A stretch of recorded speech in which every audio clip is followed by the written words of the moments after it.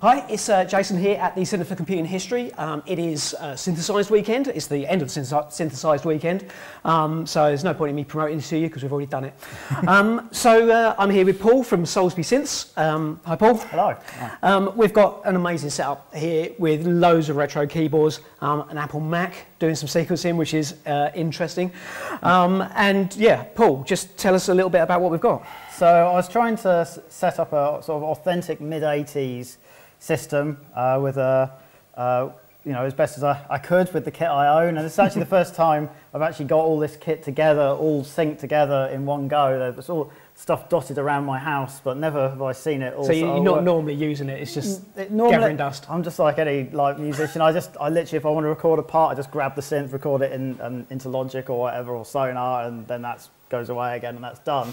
So I've, I've never actually done this before, so this was quite good fun. I think at least the first half of yesterday was spent just setting it up and trying to get it working. and there was even a bit of custom circuitry, which I'll go into in a minute. Right. Um, but yeah, so the, the, the first challenge was actually to get this Mac, my Mac Plus running a sequencer, which is, uh, I only managed to find one that would work, uh, and that was Tracks. Uh, so we've got Tracks running, a very sort of simple 16 uh, MIDI channels, obviously no audio whatsoever. Right. Um, a bit of event list, uh, a bit of uh, piano roll style editing, uh-huh. uh, quantizing, that kind of thing. So it's, it's, it's perfectly fine to write what, a song. What more do you need?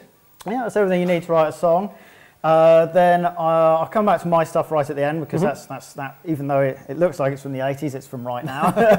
then we got the drumulator here, um, uh, which uh, is doing the rhythm.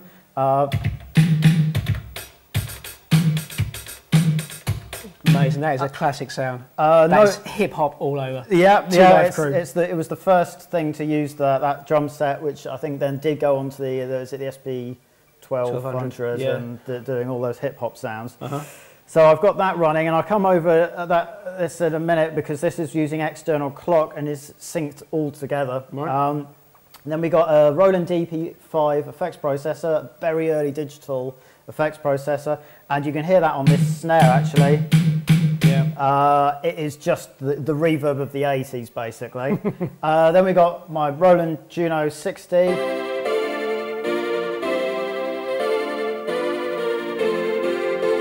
Uh, probably one of the most recognisable polysynths. Yeah, uh, yeah. Um, the Pro One. Um, is, these, the other thing is this is all uh, synced up via MIDI, apart from the drumulator, which uses external clock. Mm -hmm. So these are. So if I want to play the Pro One, I'm actually on it at the moment. I select it in tracks. This is operating as my master keyboard. Right. You can hear.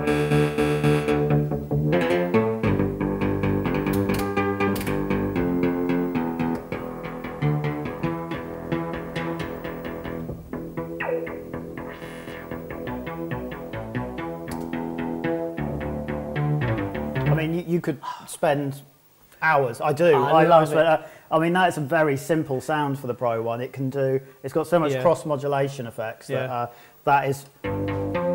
It's a synth that I always wanted to own. It's it's really beautiful. You can you can spend hours and hours and hours with that synth. It's just such a fat sound. Uh, it's mainly with all the cross mods because you can add really raspy sounds and it's sound. It's a lot of the cross mod stuff that's all on uh, Yazoo upstairs. Yeah. Eric's, all those little bright sounds and. Mm -hmm. Uh, then coming over here, I select it on tracks, clicking the record to enable the MIDI channel. Mm -hmm. uh, this this is my it's the DX7 F uh, num, uh, 2 FD. Um, actually, I think there's a is it the floppy disk still in it? I can't remember. I don't know. oh, so I haven't actually used that this weekend yet, but um, there is a, there's a load of real classic bass sounds on that. Yeah. Uh, but this is just I've just been using the uh, the, the, the famous presets like the marimba. That's got the DEP5 reverb all yeah. over it. Mm -hmm. um, uh, where's, where's famous tubular bells, all of those. Um, the great thing about this, the Mark II is that it um, has a much cleaner sound than the Mark One. Mm -hmm. I think it's, stereo, mm -hmm. it's stereo, yeah, it is, it's stereo as well. Right. Um, so yeah, really great synth. And then down here we got the Ensoniq ESQ1, which I think is like the real lost synth of the 80s. Yeah. Um, it, it, generates such classic sounds. Um, and, but it never gets the recognition of the Stick 7 or the Juno mm. or a lot of these mm -hmm. other 80s ones. Yeah. It's a wavetable synth. It is insanely powerful. And again, today I'm only using a fraction of it because this actually has eight voices and you can actually do an entire song using its built-in sequencer um, in, internally. Uh, I'm just using it for single sounds today, but Yeah. in fact, the- the main job was to turn off the other eight, uh, the other seven voice voices. Um, and you could you could use this to run. You could do you could run all eight channels of this over MIDI to this, Uh-huh. uh, and do your entire song. It's got drum samples in as well. Right. Uh, and I'm sure there would have been a lot of home sort of setups that would have done exactly that. Yeah. Um, and there's a, I've got a cartridge of sounds as well. I mean, I-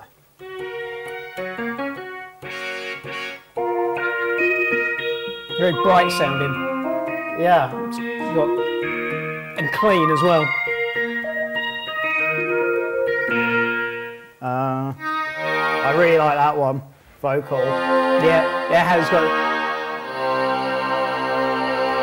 So- just hear that little Yeah. vocal sample to it. vocal sounds. So yeah, that's that's a really great synth. And then we got um, my own uh, Atmegatron Mm-hmm. loaded with the Auditron software. So if I pick it off here.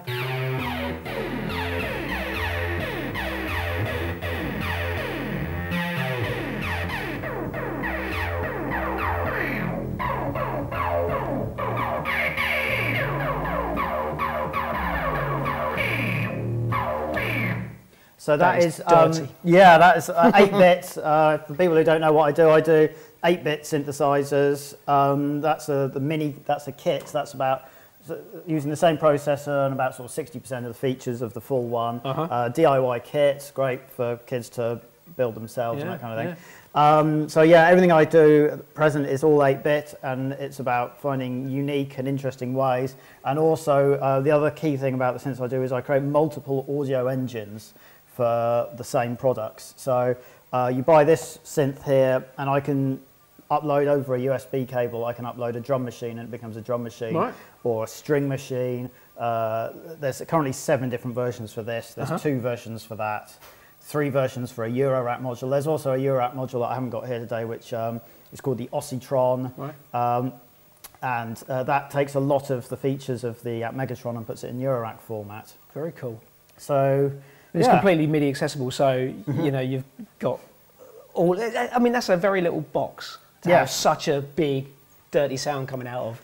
Uh, it's pretty impressive, and it's and it's an eight-bit. It's um, there is no analog stage other than the very final stage, which is an analog filter to take off the pulse width modulation frequency, which is just a very high frequency that you just take Uh-huh. Yeah, it off at human it. hearing Right. and range, and that's it done. uh, so yeah, that is that is the kit. Very oh, and of course, the thing I missed was the Oh, yeah. Fostex. Yeah, yeah. Fostex R8. Actual mechanical part, yeah, yeah. real uh, moving parts. Yeah, giving the heads a good clean today. Uh, literally, was a pile of cotton buds with, with it once I'd finished with it. Um, and yeah, so, so I, I had this idea that initially, let's just see if we could get the thing running with MIDI clock. So I'm using a Pro Kenton, well, I'm using a Kenton Pro DCB to control convert MIDI to this, the Juno, and I'm using a, two, a Pro 2000 to convert the clock to the drumulator and also to do all of the MIDI to CV and gate conversion for the Pro 1. Right. So uh, using both of those channels. And the, the idea initially was just to see if the Mac could drive everything. Um, and if I, I've only really got the drum machine working, I haven't got any tracks recorded yet, I'll come to that in a minute. But if I hit play, you can hear, oh, well, there you go. it decided, oh no, actually that hit the end of the song. Th- th- All right. That's one feature of this track, is if you haven't recorded a number of bars, it, it, it will just, just stop, stop stop. It won't just play on like Logic or Right. Ableton or anything. Yeah, so yeah, generally when you're wanting to muck about, it's actually better to hit it in record so it thinks it's recording right. something. Mm-hmm. Another classic thing with this setup at the moment, every time I want to restart, I must take it out of run, stop it and put it back into run. Otherwise it picks up where it left off. Right, yeah, yeah. I think there's a way for me to resync it automatically using um, the run stop jack here, Mm-hmm. but I need to create something that will take the, um, the clock start stop, MIDI start stop clock and turn it into something that this can read. Uh, I, That's don't, interesting. I don't think the Pro 2000 can do it. So- I don't think. Back in the day, I created something called the Clock Sync, um, which Ah. created or took um, MIDI time clock and created the pulses for um, like some of the old Roland gear. Ah, um, yes, yeah. That had a start-stop line on it Yes. for controlling those. It's probably the same kind of thing would do that. Yeah, Um, yeah. So, it actually it is the line of a din. The, so they would distinct, uh, distinct yeah. the, the through, isn't it? So Yeah. yeah, the start-stop line. it's of- just the same thing, but put into jacks, isn't it? I reckon. Yeah, So- literally. Uh, yeah, five pin to that would, would, would have worked for that. So, anyway, uh, for, for today, I've just been start resetting it back to the start, um, and then I took it a, a step further because once I- I realised once I'd used all these synths, and uh, I've only got five channels of synths, which actually would have been more than enough for today, but I was just trying to Yeah. extend the theory. uh, what, what do I do next? I was like, well, then you just play the synths along to the tape. But I actually wanted to try and sync the, the tape and the MIDI up. Um, obviously, SMPTE would be the way most people go. This software couldn't do SMPTE, even if, even if it could read it, uh, even if I could put SMPTE on here, there's no way I don't That think this read would, would read it and Right. process all the MIDI, other MIDI data, send out MIDI clock, all the notes and everything. I just don't think it would happen, and it and it can't do it anyway. So Right. it's not. So uh, what it does do is it'll do MIDI, start, stop, and clock. Mm-hmm. So I then started thinking, well, how do I get that onto tape? And I created this little device here, which uh, uses an Arduino library called Soft Modem, Mm-hmm. which basically um, takes a serial signal and converts it to AFSK, Right. which is something that will sit nicely on an audio format. Yep. Dig- oh, digital signals do not like being recorded No. onto tape. They need to be converted into something that's more sinusoidal. Um, uh, so I created that. I then created a few sort of nice features that would allow me to put it in between a read and a write mode, and a little green write mode. So I, it's spewing out at AFSK when the red light is red. When it's green, it's reading it in off the Right. tape. Uh-huh. Uh, so I've already striped this tape with some clock earlier today. Uh, uh, so let's just see if this works. There's the moment of truth. Yeah, trial by fire. Press the locate zero button, get it back to the start. I've done my stop and start there.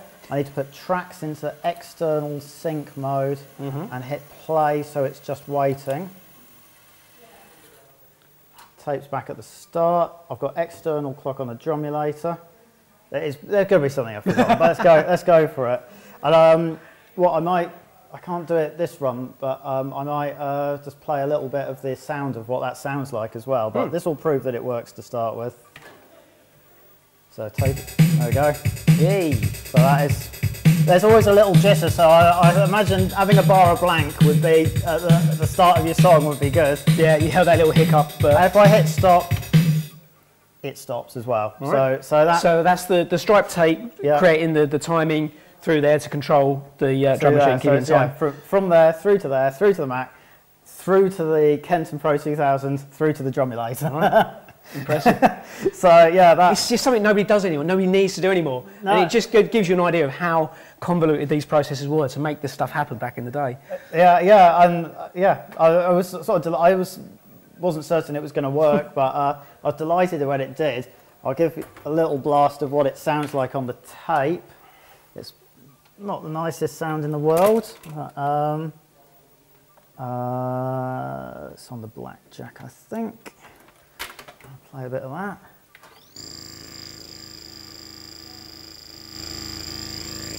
So that is the, the signal, the MIDI signal that's on that channel. Uh, oh, let's hit stop on there. Like that. And then put this. So that's an eight uh, channel uh, recorder. So you've got one channel that now has gone Yeah, that's one channel. for this for this time code. Yeah, well not time gone. code, but for the, the um, AFSK. So I've got s- seven channels. So you've got seven left. channels now. You can record your audio on. So in a, in a sort of real life situation, I mean, I, I don't think it's uncommon to have uh, to record some stuff like the drums might go down to tape, the vocals and some keyboard parts, and then you may just also have some live stuff running off of this as well when you do your mix. Um, I think it would depend on sort of personal preference as to how much was like. Obviously, the problem with live MIDI going straight down to a mix is that years later, if you want to come back to a song, you've got to find the discs with original files the and everything else, yeah. yeah, yeah. Yeah, So, definitely.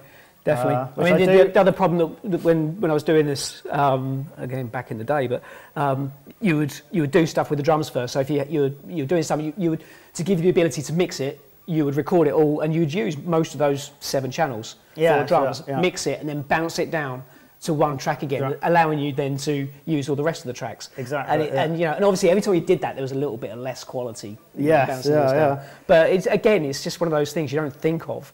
Um, now it's so easy with hundreds of tracks uh, on a sequencer. Yeah. And, and anything, even if you did bounce something, it's all digital, so there's no loss anyway. Yes. Um, yeah. so- Well, I think the, the kids that were recording a track earlier with this were sort of slightly. I was trying to explain to them that I think I think they wa- they wanted to do the vocals and they were like, well, don't we just do that onto the computer like we've done everything else? They're Yeah. Like, no, you- this could not record No, any vocals. no. You could, could have like half a second at most. Yep. So then we got the, the tape working, and yeah, the, the kick went onto one channel, and the rest of the drums onto the other, and then the synths in stereo on three and 4 Yeah, Um, absolutely. No, so- yeah. It's, it's such a, it's so far removed from what, what we have now. Mm. Um, it's really nice to see a setup where that just gives that. I mean, so what the museum's about is just showing people how things work and actually how difficult things were. You, know, Yeah, you really had to yeah. work for it. Like you say, getting all this kind of stuff set up. Yes, yeah, and, yeah. Uh, and the various foibles that they have. If you're if you're messing around with the, the sync track. Um, and there was any kind of degradation, it would just lose that sync, would and then it. you're, you're completely messed up. You, to that's why I had to clean the heads. In fact, was because right. it was it was starting to the sync was starting to drop Right. out and uh, it didn't get anywhere. But but it's it's allowed the amount I've actually you sort of managed to sync up. I think the arpeggiator should sync. I'm going to stop using the tape for now because I don't actually need it for this demo. But if I uh, hit. Oh no. Oh, it's because I was it started that thing of hitting play Same again. Record. There we go. Yeah.